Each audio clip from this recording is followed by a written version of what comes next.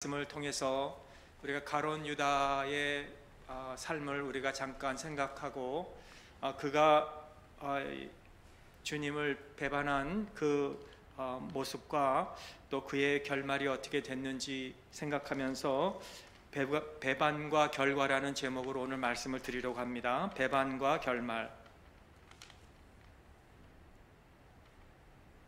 오늘 새벽에 우리가 겟셋만의 동산에서 땀방울이 핏방울이 되도록 기도하신 우리 주님에 대해서 잠깐 상고했습니다. 그 가운데서 주님은 시련을 아, 받으시고 고뇌의 시간이었습니다. 제자들에게 깨어 기도하라 했었는데도 제자들은 피곤하여 잠을 잤고 예수님은 계속해서 이 잔을 하나님 만일 가능하시면 넘겨달라고 기도했지만 아, 결국 하나님의 뜻대로 해달라고 하시면서 아, 그 시험을 잘 이기셨습니다. 여러분 이 마귀는요 주님과 이 갈등이 그때부터 계속 있으며 또 이제는 유다를 통해서 어, 그 현장에 등장하게 되었습니다. 귀신들이 나와서 돼지떼로 들어가 가지고 돼지떼가 그 언덕으로 떨어져 죽었던 것 같이 가론 유다의 마음에 들어가서 그를 소유해 버렸습니다. 여러분 그러나 걱정하지 마세요. 아무리 사탄이 지혜롭고 교모해도 하나님보다 지혜롭지 못하는 겁니다. 이 비열한 배반은 이미 시편 41편과 시편 55편에서 이미 예언된 말씀이었고요.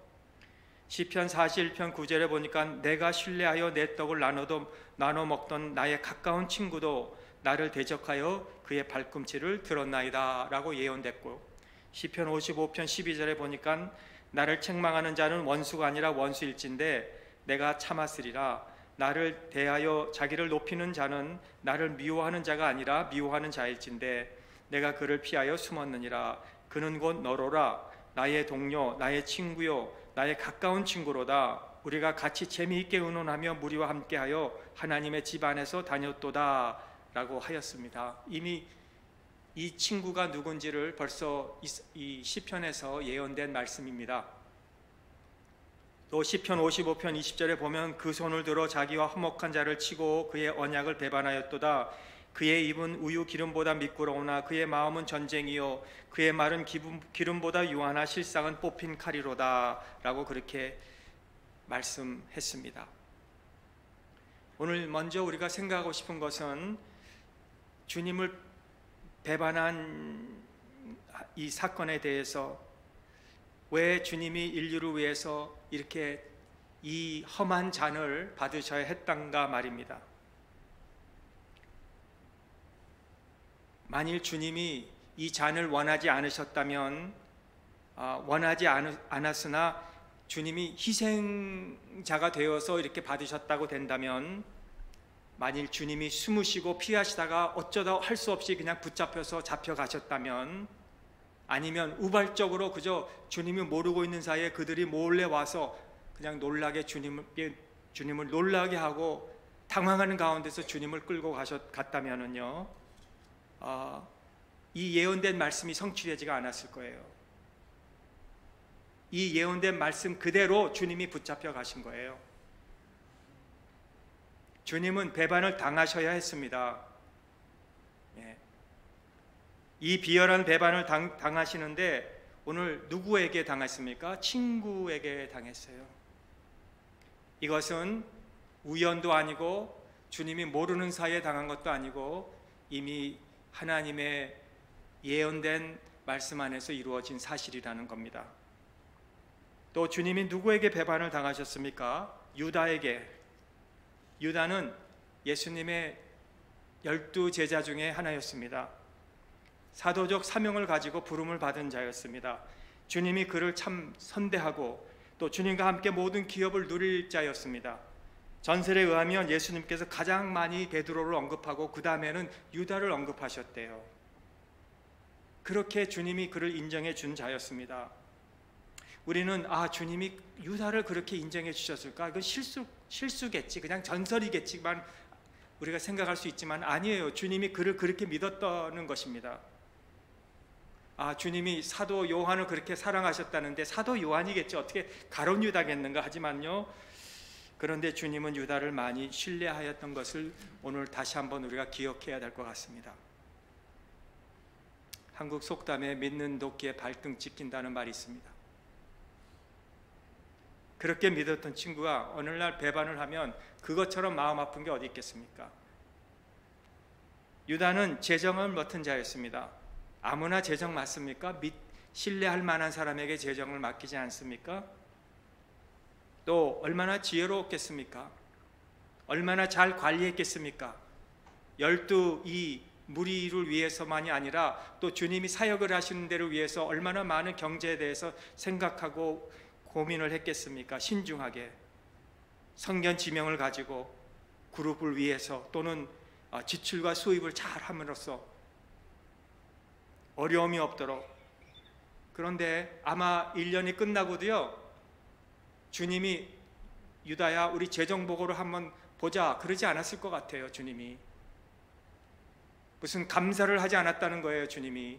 왜냐하면 그만큼 신뢰했고 의지했고 믿었기 때문이라는 거예요 세상이 유다를 바라볼 때는 언제나 주님과 관련된 자였습니다 유다 하면은 아 예수님과 함께 있는 자 세 제자들 베드로 야고보 요한도 늘 주님과 가까이 있던 자였어요 그래서 그들이 잘못하면 주님께 늘 책망을 했어요. 주님 왜 주님의 제자들이 그러십니까? 마치 유다도 그랬습니다. 유다 하면 혼자 생각하는 게 아니라 늘 주님과 함께 있었던 자라고 생각할 수가 있습니다. 그런데 그, 그런 유다가 배은 망덕한 일을 하지 않습니까 오늘? 로마나 그리스 역사를 보면 시저가 가장 믿었던 그 브루토스라는 그가 시저를 배반해서 그 칼을 찔러 죽일 때 시저가 그를 보면서 너도 그, 너도 그 사람이니 그들과 같은 사람이냐 그렇게 얘기했다 그러지 않습니까? Et tu, Brutus 여러분 가장 믿었던 자가 배운 망덕한 일을 할 때 우리는 생각하기를 이거보다 더 잔인한 사람이 어디 있을까 이 세상에 참 가론 유다는 잔인한 자였다라고 우리가 할 수 있습니다.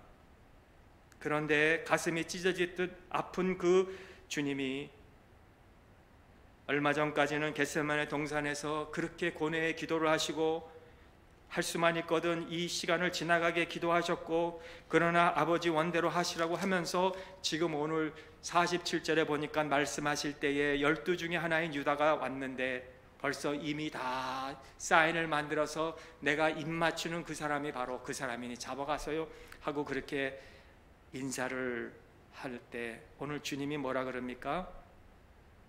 친구요. 친구요. 여러분 우리 예수님이 가론 유다를 보고 이 배반하는 유다가 왔구나. 이 증오스러운 자야. 거짓된 입술로 내 뺨에다 그 더러운 입을 댔느냐라고 하시지 않고 친구요, 친구요. 여러분 이게 우리 주님이세요. 그럴 때 유다에게 작은 양심이라도 남았다면은 선생님, 주님, 제가 주님 배반하러 온 거 맞습니다. 그런데 그 친구요 하는 말에 주님 제가 더 이상 주님이 이렇게 할 수가 없습니다. 견딜 수가 없어요. 제 양심이 견딜 수가 없어요. 주님 제가 잘못했습니다. 용서해 주세요. 주님 붙잡혀 가시면 저도 함께 붙잡혀 가겠습니다. 라고 그렇게 할 수 있었을 텐데. 친구여, 내가 무엇을 하려고 왔는지 행하라 하시고, 함께 온 자들에게 붙잡혀 가시는 우리 주님. 온유하고 겸손하신 우리 주님 아니세요? 부드럽게 친구요, 친구요, 친구요, 나와 함께 있던 친구요, 나의 재정을 맡았던 친구요, 하나님 나라의 기업을 함께 누릴 친구요, 나와 함께 모든 사역을 하던 친구요, 만일 그 생각을 했다면은 가론 유다가 그 앞에 엎드려 영혼으로 회개하고 내가 어떻게 나의 주님한테 이렇게 배반할 수 있겠습니까? 저는 악한 제자이니 제 잘못을 용서해 주소서. 용서해 주소서. 그런데 그런 말 하나도 없어요. 왜냐하면 그의 마음은 이미 은 30냥이 그의 마음에 가득 차 있었어요. 성도 여러분, 오늘 우리가 이 고난 주간 동안 그 주님을 바라보시기 바랍니다. 멸시를 당하시고 버림을 당하신 우리 주님. 핸델 메시아에서 He was despised and rejected. 그는 멸시를 받고 고뇌를 받으시는 우리 주님. 그런데 주님은 그렇게 당하시면서도 조금도 흔들림이 없으시고 죽음의 자리까지 가시는 우리 주님. 가론 유다는요, 또한한 가지 더 생각할 수 있는 것은 그는 설교도 했을 거라고 저는 생각해요.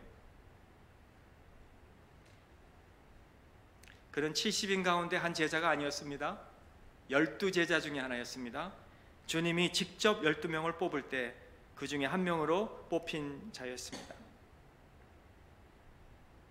그래서 그는 다른 베드로나 다른 제자들이 설교를 한 것 같이 그도 말씀을 전했을 때 그 음성으로 수많은 영혼들이 감동을 받고 회심도 했을 것이고 또 병든 자가 치유도 받았을 것이고 베드로와 같이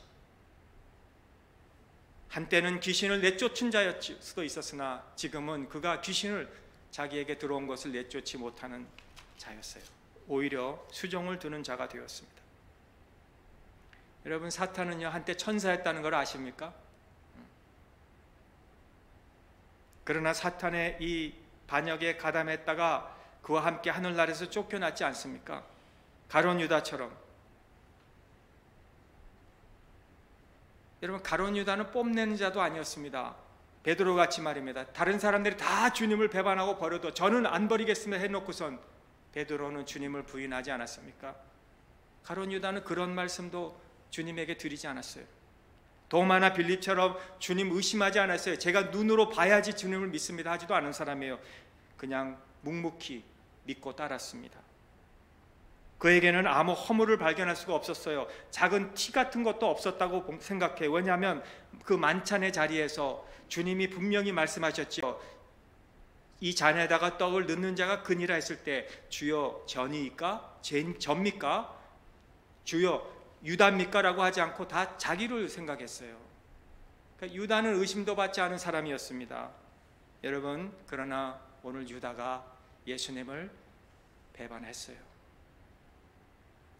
오늘 이 말씀을 생각하면서 아 우리도 아, 인정도 받고 아 사람들이 참아 아, 목사님, 아, 장로님, 어, 권사님, 집사님, 우리가 이렇게 교회에서 인정을 받고 또 큰 일을 우리가 감당을 또 하고 또 우리가 이렇게 세상 사람들에게 티다 특글도 없어도 우리 마음이 마음이 참 강박해지지 않도록 그렇죠? 우리 마음이 사탄의 지배를 받지 않도록 날마다 우리가 성령의 인도함을 받고 주님의 말씀으로 무장하고 깨어 기도하면서 우리가 맡겨진 직분을 잘 감당해야 되지 않겠는가 생각합니다. 사람들에게 오는 인정 그런 거 그런 것으로 만족하지 마세요. 사람들이 나를 치겨주고 높여주고 또 내가 어떤 직분을 받아서 내가 그 직위가 높아지는 것 가지고 우리가 만족해하지 마세요. 오늘 두 번째 큰 두 번째 유다가 기회를 잃었습니다. 오늘 마태복음 27장 1절에서 10절 5절 말씀입니다. 기회를 놓친 유다. 새벽에 모든 대제사장과 백성의 장로들이 예수를 죽이려고 함께 의논하고 결박하여 끌고 가서 그랬는데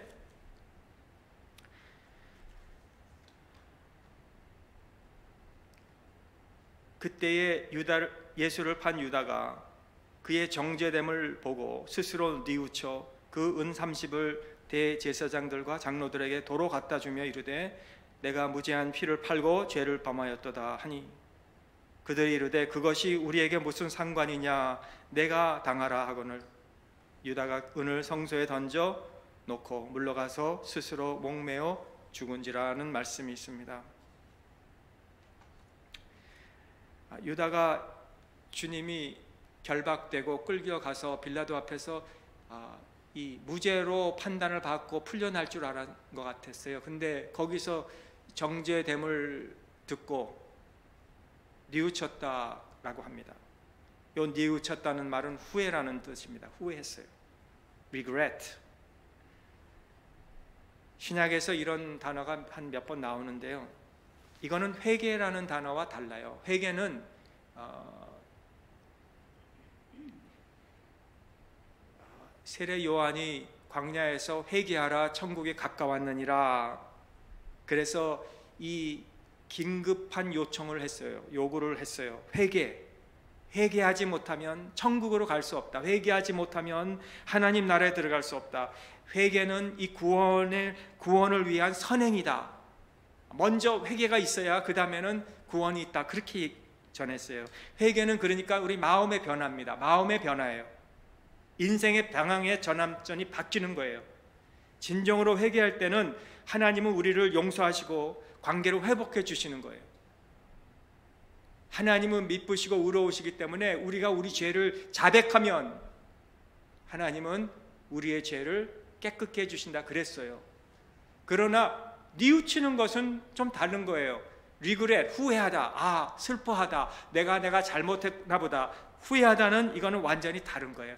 이거는 담에색 도상에서 사울이 바울이 되기 전에 사울이 그 환한 빛을 보고 눈이 멀 정도로 그렇게 되고 예수님의 음성을 듣고 회개해서 완전히 그의 삶이 변한 것 그거는 회개예요. 그러나 뉘우치는 후회는 다른 겁니다. 가론 유다는 뉘우쳤으나 회개는 못했습니다. 유다는 주님에 대해서 잘 알고 있었습니다. 주님은 죄가 없으신 결백하신 분이라는 것을. 그런데 정죄됨을 보고 뉘우치고 후회를 하였으나 회개하지 않고 결국 자살을 했습니다. 여러분 자살에 대해서 우리가 잘 아시겠지만 역사가 그 요세푸스에 의하면 자살은 하나님에 아, 대한 불경경한 행위다 그렇게 했어요. 자살은 회개하지 못한 거예요 한마디로. 그러나 놀라운 것은 가론 유다에게도 기회가 여러 번 있었다는 거예요. 기회가.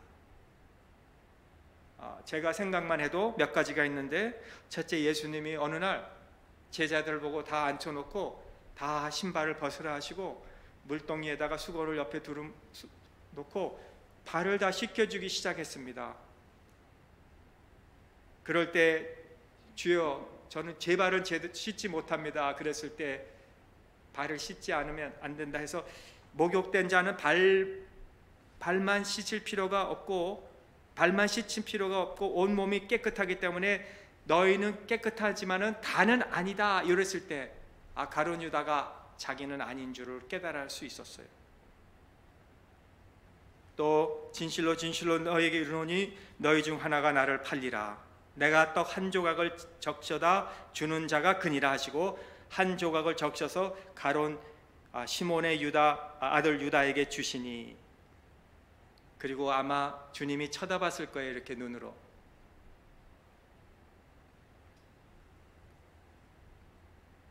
회개할 수 있었을 기회가 있었습니다. 근데 못했습니다. 여러분 우리가 죄는 참 그때 그때 회개해야 돼요. 그때 그때 나중에 하겠다면 안 됩니다. 지금 은혜 주실 때 깨닫게 해 주실 때 죄는 사실 우리가 무겁고 무서운 거예요. 이거 죄는 자꾸 우리가 쌓아두면 안 돼. 잊어버려요. 유다는 이음 산십에 누이치고 대제사장의 도로 갖다 줍니다. 예수님을 다시 놓아주라는 뜻 아닙니까? 다시 풀어주라는 뜻 아닙니까? 아니면 내가 잘못을 뉘우치기 때문에 저는 이런 거 안 받겠습니다 한 거 아닙니까? 그런데 허락지 않았습니다. 엎질른 물과 같아요. 이미 지나간 거예요. 회복하기가 어려운 거예요. 죄 지을 때는 쉽게 지어도 회개하기는 어려운 거예요. 들어오기는 쉬워도 나가기는 어려운 겁니다. 여러분 우리가 이 재물에 대해서도 이 불의한 재물이 있다는 것을 아셔야 돼요. 불의한 재물은 우리에게 아무 도움이 안 돼요. 도박장에 가서 뭐 아, 돈을 한, 하루에 그 하룻밤에 그냥 뭐 몇, 몇십만 불을 그냥 딴 거 그거 기쁨이 없는 거예요. 도박하지 마세요. 라터리 당첨되면은 내가 뭐 뭐 몇 불 사가지고 하루에 몇 밀리언 되면 교회도 뭐 10, 10밀리언 따면 1밀리언 11조 내가 내겠지 그렇게 하고 내가 그래서 그런 거 하지 마세요 그거 딴 사람들 말입니다 다 몇 년이 지나면 그 번 돈 다 잃어버리고 날마다 그 돈 때문에 누가 뒤에서 날 잡으러 오나 나를 죽이러 오나 하면서 두근두근거려서 기쁨이 없어요. 불의로 얻은 재물은요 기쁨이 없는 거예요. 그러나 하나님이 주신 재물은 근심이 겸하여 주지 않는 겁니다. 우리가 열심히 일하고 땀 흘려서 벌어서 우리가 모은 돈이어지 우리가 그렇게 쉽게 쉽게 버는 것은요 우리가 우리의 돈이 아닙니다. 성도 여러분, 오늘 이 죄악으로 번 것은 무익하다는 거예요. 죄로 버려들인 것은 취득한 후에도 잃어버리게 되어 있습니다. 성도의 특권은 우리가 올바르게 사용하지 못하면 우리는 후회하게 되어 있습니다. 오늘 이 말씀 속에서 우리에게 주시는 교훈 몇 가지가 있습니다. 첫째는 유다가 그렇게 한 것은 세상과 재물이 그 마음의 중심이 되었다 이거예요. 우리 마음에 세상과 재물이 중심되어지려고 할 때마다 가론 유다를 생각해 주시기 바랍니다. 또 죄악에 대해서 소홀히 생각해서는 안 됩니다. 우리가 넘어지려고 할 때, 후회하려고 할 때, 뉘우치려고 할 때 우리가 그렇게 하지 말고 유다를 생각하고 우리가 회개할 수 있기를 바랍니다. 또 유다를 바라보면서 기회가 있을 때 회개하고 우리의 마음이 그리고 믿음이 파손되지 않도록 주의하시고 오늘 이 고난의 주간 때에 우리를 향하여 친구야, 친구야 우리의 이름을 부르시고 우리를 부르실 때에 그 음성을 들으시고 주여 잘못했습니다. 회개합니다. 용서해 주세요. 주님의 발자취를 따라가는 우리 모두가 돼서 십자가가 같이 따라가서 주님의 영광의 면류관도 함께 얻으신 우리 모든 성도님들이 되시기를 주님의 이름으로 축복합니다. 하나님 아버지 감사합니다. 하나님께서 이 고난 주간 동안 저희들에게 가론 유다를 생각하게 해주시고 참 힘들고 어려운 본문 말씀이지만 그래도 이 가운데서 우리에게 교훈해 주신 것을 믿고 감사를 드립니다. 우리 이 세상에 사는 동안 우리 주님을 배반하고 주님을 다시 십자가에 못 박는 이런 일이 없도록 하나님 그렇게 하고 싶을 때마다 쉽게 쉽게 하고 싶을 때마다 우리가 가론 유다를 생각하고 우리가 신앙의 이 길에서 우리가 올바로 걸어가고 진실하게 걸어가는 우리가 되게 하여 주시고 사람의 눈이나 사람의 박수나 사람의 그 인정을 받으려고 할 때마다 가룟 유다를 생각하고 우리가 어떤 직분이나 지위가 아니고 내가 진실하게 마음 중심으로부터 주님을 따라가려고 하는 그런 참 제자가 되게 하여 주시옵소서. 하나님 죄가 무섭습니다. 무겁습니다. 쌓입니다. 들어오기는 쉽습니다. 나가기는 어렵습니다. 고통을 주고 나갑니다. 하나님 죄를 무서워할 줄 알게 하여 주시고 혹시라도 죄가 우리 마음속에 자꾸 들, 들 때마다 가론 유다를 생각하고 어서 엎드려서 주님 앞에 회개하고 올바로 우리가 진실한 마음으로 주님을 말씀대로 살게 하여 주시옵소서. 오늘 사랑하는 우리 권사님께서 간절히 조목조목 기도하신 기도를 주님이 들어주시고 참 우리 권사님 새벽마다 주님 앞에 나와서 기도하시고 하나님 앞에 눈물로 호소하시는 그 모든 강구를 주님께서 꼭 들어 응답해 주시옵시고 우리 권사님 늘 빛이 청청하고 진에게 풍부하고 참 믿음으로 참 아름다워 하나님의 귀한 영광을 드러내시며 많은 사람들에게 모범이 되도록 하나님 우리 권사님을 계속 장중에 붙잡아 주시옵소서. 오늘 말씀을 듣고 돌아간 우리 심령 속에 은혜로 함께해 주시기를 바라옵고 예수님의 이름으로 감사하며 기도합나이다. 아멘. 우리 찬